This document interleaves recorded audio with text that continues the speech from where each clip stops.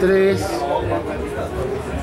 Hola, ¿qué tal? Buenos días. Estamos aquí con Paola Santos, que es de Alfaguara Infantil, de prescripción infantil, para que nos platique un poquito cuál es su plan para el 2014.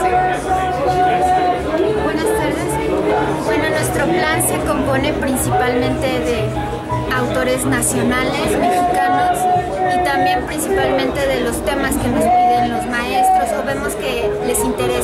chicos, a los niños y a los jóvenes.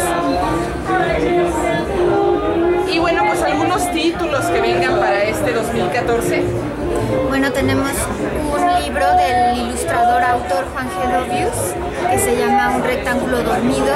Es para más chiquitos, los más chiquitos porque habla de figuras, de números.